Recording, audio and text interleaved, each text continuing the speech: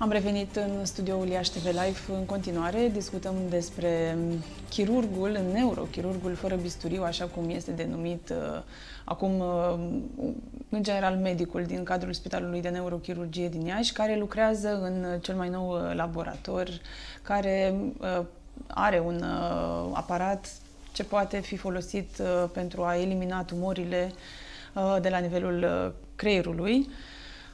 În continuare discutăm cu domnul conferențiar universitar dr. Lucian Eva, managerul Spitalului de Neurochirurgie din Iași. Spuneați înainte de pauza de publicitate despre aceste riscuri mai mici pe care le are un pacient atunci când este tratat cu aparatul de înaltă performanță pe care l-ați descris, mult mai bine decât într-o situație tradițională. Da, um, avantajele tehnologiei um, de tip gamma knife în, în neurochirurgie, pentru că acest sistem este dedicat neurochirurgiei și de asta în toată lumea el este amplasat în, pe lângă clinicile de neurochirurgie și nu de oncologie sau de radioterapie convențională, așa cum le cunoaștem, se datorează faptului că cele 192 de surse de radiații gamma, de pastele de cobalt radioactiv care emit radiații de tip gamma, sunt concentrate uh, cu o precizie de 0,01 mm numai în ținta pe care noi dorim să ajungă acele raze. Și ele ce, vor, ce fac acolo? Refac conformațional în 3D uh, volumul respectiv, volumul țintei. Imaginați-vă că fiecare din, uh, din acele impropriu zis săgeți, să spun așa, de radiații de tip gamma, ele când ajung în țintă, traversează țesutul uh, sănătos și ajung în țintă și devin ca o sferă. Prin suprapunerea mai multor sfere care vin din mai multe direcții, deci anume de la două, uh, ele sunt dispuse uh, 270 de grade în jurul țintei, în jurul capului, da? Și pot veni din toate direcțiile din aceste, din aceste surse. Sunt de 4, 8 și 12 mm. Aceste sfere, prin sumarea lor, uh, Uh, reconstituie volumul conformațional geometric al țintei respective și își produc prin sumarea acestor uh, sfere de radiații gamma uh, efectul biologic pe care noi îl dorim și anume acela de a distruge între ghilimele ținta respectivă celulele tumorale și de a face în așa fel încât volumul acestei tumori să scadă în dimensiuni, să se strângă, să se, se, se stafidește ca o smochină, nu dispare de acolo. Dar devine atât de mică încât nu mai, este, nu mai are niciun efect uh, uh, compresiv asupra structurilor normale din jur. Și aici vorbim în general de celule nervoase, de țesut nervos, că despre asta vorbim. Uh, și vă dau un exemplu ca să înțeleagă, să înțeleagă toți. Vorbim de adenome hipofizare adică tumori dezvoltate din glada hipofiză, care este creierul endocrin, între ghilimele, al organismului. De acolo pleacă toți hormonii care nu, fac să crească organismul, în fine. Controlează multe funcții în, în organism. Prezența adenoamelor hipofizare, adică creșterea în volum a acestei acestei glande, anormal, bineînțeles. E cum e expresia populară că am glandă, nu? Sau uh, nu e neapărat acolo? Da, de obicei se referă la glanda tiroidă. Aici vorbim de glanda hipofiză, care este okay. situată la baza creierului. Okay. Atenție, este în afara creierului, este extra uh, nevraxial, cum îi spunem noi. Dar este legată de creier prin o tijă hipofizară, așa se numește. În fine, uh, uh, creșterea în volum poate să devină compresivă inclusiv asupra nervilor optici care sunt în apropiere. Și asta înseamnă că dacă nu este calculat bine uh, volumul sau în fine uh, uh, ținta pe care noi trebuie, trebuie să o, să o distrugem prin acest tip de radioterapie de tip gamma knife, există riscul ca pacientul să-și piardă vederea. Dacă nu și-a pierdut deja prin compresiunea exercitată de adenomul hipofizat. Da? radiochirurgia de tip gamma în acest, nu este o, o procedură de primă intenție. De primă intenție este întotdeauna chirurgia, adică de reducerea volumului și ulterior, dacă mai există un rest, datorită localizării anatomice, pentru că acolo, în afară de nervi optici, de chiasma, unde se întrepătut nervi optici, există și vase de sânge importante, arterele carotide și ce pleacă din arterele carotide, cele care hrănesc uh, întreg, uh, întreg uh, creierul. Și atunci, dacă mai există un rest, el poate fi tratat prin acest tip de radiochirurgie stereotachiar chiar și un rest mic de câțiva milimetri. Dar atenție, el este secretant, el poate să secrete niște hormoni care, prin a căror acțiune se întâmplă niște catastrofe în, în corpul uh, pacientului respectiv. Ei, și restul la tumoral poate fi uh, eliminat prin acest tip de radiochirurgie, fără să existe efecte secundare asupra nervilor optice dacă planul este bine făcut. Pentru că nervul optic suportă și el o doză de radiații de tip gamma knife. Sunt studii făcute. De altfel, în toată literatura, cred că un singur caz am, uh, am întâlnit în care a, a avut, după o procedură de gamma knife, a avut uh, pacientul a orbit imediat, în câteva zile, da? Probabil că n-a fost doza calculată suficient de bine, da? Pentru că astăzi, la sistemele pe care, pe care le deținem și noi, poți să calculezi doza de radiație pe care nervul o, o primește atât de, de precis, încât el să nu, să nu se întâmple nimic în, uh, pe tot restul vieții pacientului respectiv, ci doar să distrugă ținta. Și de, de obicei suportă între, um, sunt diverse studii, dar undeva maxim 10-12 grei, exact ca țesutul cerebral normal. Pe un volum foarte mic, atent, putem să calculăm și volumul din nervul optic pe care îl primește, primește doza respectivă. Atenție! Aparatul este dotat cu inteligență artificială, așa numitul inteligență artificială, care pe baza unor analize mari, baze mari de date, poate să facă și acest lucru. Din punctul ăsta de vedere, avantajele radiochirurgiei de tip gamma knife au făcut ca modul în care privim patologia craniocerebrală astăzi la nivelul spitalului să se schimbe radical. Astăzi echipa medicală, neurochirurgul, nu mai are de primă intenție neapărat să scoată toată leziunea cu orice risc pentru pacient, doar ci, doar, să, ci, doar, ci doar dacă este posibil, atenție, și fără efecte secundare majore pentru bolnav, ci doar să-i reducă volumul tumoral și ulterior să facă radiochirurgie de tip gamma și avem foarte multe, foarte mulți pacienți care vin din toată țara cu patologie dificilă, cu leziuni care nu pot fi uh, uh, rezecate chirurgical fără consecințe catastrofice pentru bolnav, la care noi le reducem volumul tumoral, le urmărim în timp și după câteva luni de zile când considerăm că putem face gamma când planul făcut este optim, așa numitul planul optim, să începem uh, radiochirurgia de tip gamma și să o urmărim în timp. E o listă de așteptare? Dacă e, nu știu, poate e mare adresabilitatea pentru că Bun. e un sistem Noi nou? tratăm astăzi uh, pe zi, facem în jur uh, între 5 și 10 iradieri zilnic. Adică pacienți? Da. Ceea ce este un volum mare. Da? Adică uh, clinicile pe unde am fost uh, și ne-am am studiat, am învățat, am preluat și noi, de la, am fost învățat și noi la rândul lor de alții care au o experiență mai mare. Au ajuns la nivelul ăsta să facă 10 pacienți pe zi după 10-15 ani.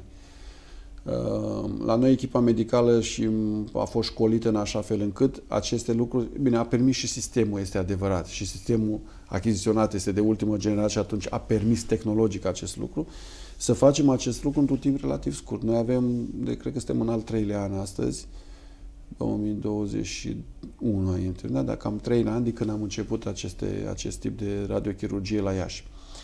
Uh, există o listă de așteptare, este adevărat, dar lista de așteptare este um, făcută pe niște principii foarte clare, în sensul în care sunt programați uh, pacienții funcție de patologie. Dacă se adresează un pacient cu o metastază, cu o, cu o tumoră agresivă care îi pune în pericol viața într-un timp relativ scurt, îl preluați imediat. Îl preluăm imediat. Adică un pacient cu metastaze cerebrale nu îl lăsăm săptămâni sau luni să aștepte pentru că este în momentul în care va veni, s-ar putea să nu mai avem ce să-i facem, să fie plin de metastaze și să nu mai putem face nimic pentru el. Și atunci, dacă are un RMN făcut astăzi, este făcut astăzi sau în următoarele două, trei zile. Pentru că peste 4, 5, 7 zile, când o să repetăm un RMN, o să constatăm că arată cu totul diferit decât RMN-ul care l-am văzut atunci. Astea sunt studii făcute, nu ca am noi așa, așa, astea sunt studiile. Dar un pacient, de exemplu, cu o tumoră benignă, cu un meningiom care are un ritm de creștere lent, de gradul 1, îl putem amâna o lună, două, trei, fără să se întâmple nimic. Uh, un pacient cu nevralgie, de exemplu, de trigemen, care are niște dureri îngrozitoare, vorbim de alte indicații în gamma knife. Și am și spus-o, dacă numai pentru patologia asta, nevralgia de trigemen, se inventa radiochirurgia stereotată de tip gamma knife și tot era suficient nu doresc nimănui să aibă asemenea dureri. Am văzut pacienți cu tulburări psihice din cauza durerii la față, știți, acea durere îngrozitoare la față, care aveau deja tulburări psihice, nu mai puteau să mănânce, nu mai puteau să doarmă. Erau îngrozitori, ani de zile de suferință. Și după ce, ce au făcut tratamentul, după o perioadă de timp, că durează de obicei efectul pentru care, după care se instalează, uh-huh. de fapt dispar durerile, uh, m-au sunat și mi-a zis, doctor, mai am doar o ușoară amorțeală aici, la buza superioară, când mă bărberesc. În rest, mă simt extraordinar. Alt om. Da, alt om. Imaginați-vă. Știți, poate că noi nu conștientizăm, noi ca profesioniști, beneficiu pentru bolnavi. Dar pentru pacientul în sine înseamnă modul enorm de mult. Modul în care se simte până la urmă. Exact, până la urmă. Și modul în care este tratat. Că el se adresează laboratorul, este primit într-un condiții, zic eu, mai mult decât decente, poate să, dacă vrea să servească o cafea, poate să servească o cafea, îi se oferă o cafea, dacă vrea să asculte muzică în timpul tratamentului, ascultă muzică, dacă vrea să meargă la baie în timpul tratamentului, este, anunță, sunt camere video și îl auzim, putem vorbi cu el și îl auzim. El poate vorbi cu Practic, echipa nu de e acolo. însoțit în momentul tratamentului Nu, el stă de singur cineva. acolo pe masă, Singur dar este cu supravegheat. Dar putem să comunicăm cu el și spune, mm-hmm. vreau, nu mai suport, vreau să mă duc la baie. Ok, oprim tratamentul, se duce, revine înapoi și se rea tratamentul din punctul în care a rămas. Nu rea de la capăt. Astea sunt avantajele acestui nou sistem. Deci inclusiv pentru nevralgia de trigem, de trigem este, beneficiile sunt enorme acestui tip de, de radioterapie. Și spuneam că a modificat modul în care noi gândim patologia. Pentru că atunci când discutăm cazul respectiv, noi avem deja în minte ce se va întâmpla cu pacientul, cât putem scoate din tumora respectivă, care merită să, care poate fi tratată la gamma knife, adică Vedeți, se dezvoltă inteligența emoțională de care discutam e, inițial. Pentru că, atenție, se pare că inteligența emoțională o poți educa cumva în timp. Cred că la orice vârstă, până da, la urmă. Da, și o poți, poți face în așa fel încât prin educația asta, în sistemul de sănătate, astfel încât rezultatele pentru pacient sau așteptările pacientului să fie cele pe care el le așteaptă de la echipa medicală. Da? Adică atunci când pleacă bolnavul de la tine să, pleacă, să plece cu zâmbetul pe buze. Și să rămână așa. Și să rămână așa, știi? Nu să plece nervos, trist că n-ai putut să faci. Nu se întâmplă întotdeauna lucrul ăsta, să știți. De multe ori așteptărilor pacienților, așteptările pacienților sunt mai mari decât sau sunt, nu sunt conforme nereale. cu realitatea, nereale cumva. Dar omul speră. Speră că, are, da, că va avea parte de un tratament care să-i salveze viața. Din nou, nu inteligența putem... emoțională îl poate ajuta pe medic să explice realist. Exact, să explice realist o anumită situație, corect. Până la urmă, exact. înțelegerile bune fac prietenii buni. Exact. Eu Onest. întotdeauna, cel puțin eu ca doctor și nu numai eu, colegilor mei, colegii de generația mea sau colegilor mai tineri le spunem lucrul ăsta, să fie corect cu pacientul, Uh, pentru că dacă el înțelege foarte bine ce îi spui și așteptările vor fi pe măsură. Are aici nevoie de puțină empatie, de comunicare ca să poți să exact. ții să, să ții, să ții, da. chiar dacă Din, e corect. În schimb, faptul că nu se întâmplă întotdeauna lucrul ăsta, nici la nivelul spital, nu, nu mi se întâmplă nici mie, să știți, aș fi meschin să spun, sau ipocrit să spun că reușesc întotdeauna să, cu, cu 100%. Nu, se întâmplă fie că sunt supra-solicitat, fie că în ziua respectivă n-am o stare foarte bună din vari considerente, oboseală, nu știu, tracasări din vari considerente și să, să nu reușesc să-ți menții autocontrolul pe care trebuie să-l ai să vin în, în întâmpinarea nevoilor Mai pacientului. Mai la final de zi, când se adună atâta oboseală. Dar important e ca acel procent să fie cât mai mic posibil și să te preocupi zi de zi uh, de tu ca doctor să fii din ce în ce mai empatic, să, să fii mai bun, să tratezi cât mai bine fiecare pacient care ți se adresează. Da? Odată ce evoluezi ca și experiență, ce evoluezi ca și vârstă, aceste lucruri trebuie să fie un dat firesc. Nu să, nu să regresești, să spui, gata, am ajuns la nivelul ăsta, de acum am ajuns pe pedestalul ăsta, nu mai fac nimic, sunt frumos și deștept și mai mult de atât, nici nu mă interesează. Nu, asta nu este o atitudine, pentru că în spatele acelui om uh, sau acelui pacient este o viață de om care are. Are familie, are copii, are mamă, are tată, are rude, are prieten, are iubit, are soție, care îl așteaptă acasă, care se bazează pe el și au, au fost nu puține cazurile în care să pot naște niște drame fantastice. Dar asta spun de adult, dar imaginați-vă la copil. Deci am, am avut în consultație că povestim așa niște mici povești. Uh, un copil de șase luni de zile operat într-o clinică din, din țară pentru o operație de hidrocefalie, un drenaj ventricular, un drenaj ventriculoperitoneal, un tub care se pune în cavitățile creierului și scurge lichidul în abdomen că nu, el nu mai are capacitate de a se resorbi singur la nivelul creierului.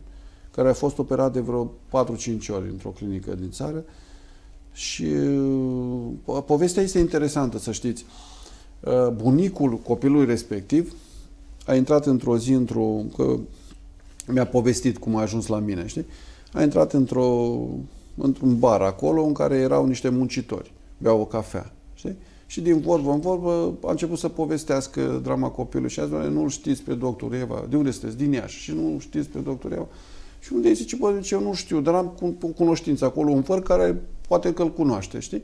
Și a dat un telefon și așa a ajuns la mine. Un caz de, grav. Un, un caz grav, un, un caz în care o malpoziționare a tubului adrenul ăla în cap a dus la aceasta. Operația n-a fost o chestie complicată pentru noi. Uh-huh. A fost o chestie de repoziționare și copilul este astăzi acasă și își va, este în sânul familiei, va crește, se va dezvolta, o să vină la control. Vedeți, mici amănunte. Dar e, pentru, pentru mine atunci eu nu mi-am dat seama, dar cel care mi l-a recomandat mi-a zis, mi spunea, domnul doctor, poate dumneavoastră nu vă dați seama ce ați făcut, ce reprezent, ce ați făcut pentru copilul ăsta, ce, ei trăiau o dramă oamenii ăia. Pentru că un copil operat de atâtea ori, nepotul lui, nu? Copil micuț, ține așa.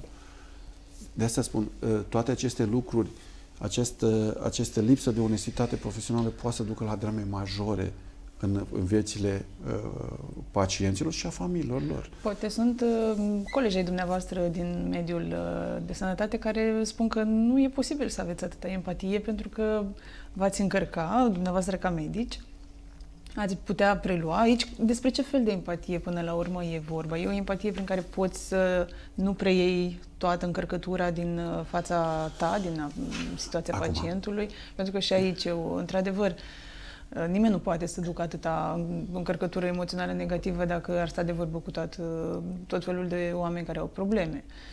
Acum am să vă dau un răspuns Cum se care, asta? știți, care nu o să fie pe placul multora. Dar dacă faci, ai ajuns să fii, dacă ești doctor, Adică dacă ești doctor, doctor, când spun doctor, doctor, înseamnă că ești născut pentru asta. Înseamnă că Dumnezeu te-a ancestrat cu această capacitate de a alina suferința semenului tău. Nu trebuie să o iei ca pe o corvoadă lucrul ăsta și să spui, bă, nu pot să fac lucrul ăsta, că e prea mult pentru mine. Înseamnă că n-ai ce căuta acolo. Și am trăit și eu personal lucrurile astea. Era acum de, de Crăciun, Uh, mă duceam a doua zi, uh, uh, în ziua de Crăciun, cred că am operat un copil cu o tumoră cerebrală și a doua zi m-am trezit dimineață să mă duc să văd copil. Și când mergeam pe stradă, mă duceam, eram în mașină, era gol.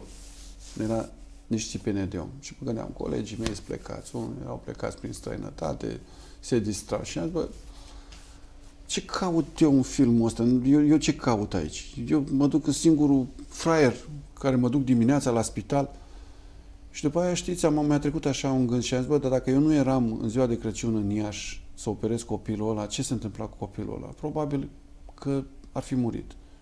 Și am zis, ok, înseamnă că Dumnezeu mi-a dat harul ăsta și cazul să mă bucur pentru asta. Să nu văd ca pe o corvoadă, ci să o văd ca pe un har, ca pe un dat, pe care trebuie să-l onorezi și să-l duc mai departe. Deci dacă nu ai harul ăsta, deci mai bine... Mai e o ocazie de introspecție când vedem da, mai bine, mai bine te lași de, de, de, Mai bine nu faci meseria asta. Caută altceva să faci. Nu e cu supărare, nu se supără nimeni. Nu există așa ceva. Ca doctor, nu poți zici că ai empatie mai multă sau mai puțină. Nu. Pacientul are întotdeauna dreptate. Semenul tău care vine la tine nu vine să, din, să dea bucurie când ajunge, când ajunge în cabinetul unui doctor. El vine care are o suferință. Bun, poate e suferința lui, nu poți să o rezolvi tu. Nu e o problemă. Recomandă-i pe altcineva. Dar nu există asta că nu vreau să te văd, nu ai bine și pentru mine. Nu, nu, nu este justificată atitudinea asta, să știți. Și nu, nu este o justificată. A, eu am spus, se întâmplă. Ce... Mi s-a întâmplat și mie, care conștientizez, adică îmi place să cred că am ajuns la un nivel la care am conștientizez lucrurile astea. Regret după aia, să știți, am regrete după ce și îmi cer scuze față de ei. Poate că în momentul ăla, știți, din vari considerăm, am, mai, am mai spus, nu reușesc să mă stăpânesc. Dar nu ai scuză să te porți urând cu un pacient care îți bate la ușă. Ascultă-l. Chiar dacă se pare ție că ceea ce spune nu corespunde realității, că, nu știu, bate câmpii, stai și-l asculți. Ascultă-l și direcționează-l către un coleg de al tău care poate să-l ajute. Măcar atât. Știi? Și atunci eviți o groază de, de drame care pot apărea ulterior. Reclamații, nu știu, acte medicale, chiar și malpraxis. De aici pleacă, știi? Ehm, lipsa de empatie în sistemul de sănătate din România este iarăși o altă problemă care merită o întreagă discuție. Ehm, și atunci, ehm, cel puțin, și nu numai la doctori, mă refer la tot, la tot personalul medical. Să știți că multe din reclam, cel mai multe reclamații sunt legate de personalul medical, nu vorbim de doctori, de asistente, de infirmiere, de brancartieri sau de personal administrativ, care poate uh, n-au suficientă educație sau educația unui doctor. Dar nu asta, aici nu ține de educație rațională. Ține pur și simplu de inteligența ta emoțională și de modul în care dacă ți-ai dori să, să lucrezi cu oamenii, comporte ca atare. Bun, exact așa cum trebuie, da? Bolnavul care ți-a bătut la, l-a bătut la ușă, sare acolo, nu a venit așa doar să, să stea la tine să, cu o bucurie. N-a venit cu bucurie la tine, a venit cu tristeți. Nu-i cazul să plângi pe umărul lui, că nici asta nu este o soluție. Și am avut situații, am cunosc, cunosc doctori care stau și plâng lângă pacient. Iarăși, nu este o soluție asta. Nu rezolv cu nimic situația. Știți? Asta tot e o, e o inteligență emoțională joasă. Pentru că vorbeam la început, dacă tot am deschis subiectul ăsta cu inteligența emoțională, studiu făcut pe cimpanzei, că de aici a plecat inteligența emoțională, într-un grup de cimpanzei, la un moment dat, care erau studiați, la un moment dat, unul din grup, uh, un mascul, și-a rupt-o, și-a fracturat un uh, antebrațul la membru superior. Toți ceilalți din grup, femelele sau masculul nedominant, s-au dus în genunchi și au început să-l mângâie, să plângă lângă el, știi? Arătau empatie, arătau... Dar, dar singur, atenție, da, dar singurul care a venit la el și i-a pus mâna într-o atelă, l-a ajutat, a fost masculul dominant. Da? Care a văzut partea practică. Care a văzut, a, a, a înțeles că trebuie să-l ajute. Restul plângea pe lângă el, dar nu știu cu nimic. De aia spun, nici să plângi lângă bolnav nu este o soluție, la modul real. Dar uh, nu să-l înjuri, nu să te porți urât cu el, uh, poți să corectezi anumite lucruri care nu sunt corecte, că se întâmplă. Sunt bolnavi, de exemplu, care nu știu. Și s-au întâmplat. Se poartă, distrug uh, distrug mobilierul, atunci da, te compozi, trebuie de fermitate. Dacă nu e vorba de, de boala lui, nu e, n-ai nicio scuză să nu fie empatic cu bolnav. Nici o scuză. Nici lipsa, nu știu, de echipamente, nici lipsa de dezinfectanți, nici lipsa... De ce vrei tu? Empatia nu are, lipsa de empatie nu are nicio scuză decât uh, a ta personală ca, ca, și, ca și medic. Mai avem uh, un minut de emisiune. Vreau să vă rog să ne spuneți că tot am vorbit mai mult despre această tehnologie uh, Gamma Knife. Când să se adreseze pacientul uh, dumneavoastră pentru a beneficia de serviciile acestui uh, aparat? Bun, da. Scurt. Uh, în primul rând, scurt. Uh, laboratorul de radiochirurgie stereotatică este disponibil uh, de luni până vineri, ca și uh, practic pentru pacienți. Se adresează spitalului oricând în cursul zilei, că sunt noi avem și urgențe.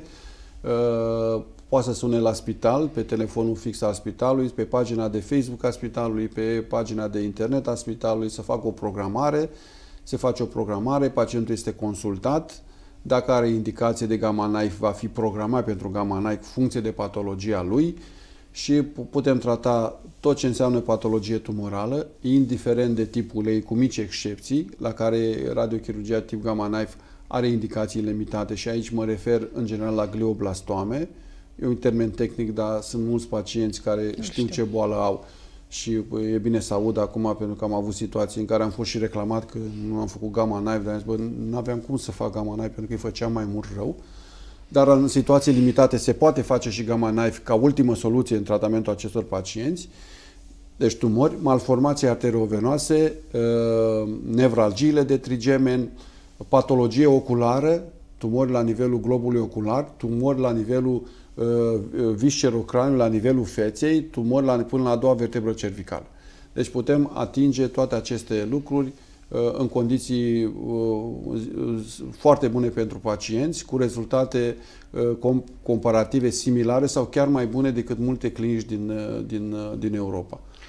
Mulțumim pentru toate informațiile pe care le-ați adus. Felicitări pentru ceea ce faceți, să vedem cât mai mulți ieșeni mai bine din toate punctele de vedere da, mulțumesc de invitație. Eu, eu pot să spun doar un lucru și asta e mulțumirea cea mai mare pe care poate să aibă un doctor. În momentul în care pleacă pacientul de la el zâmbind.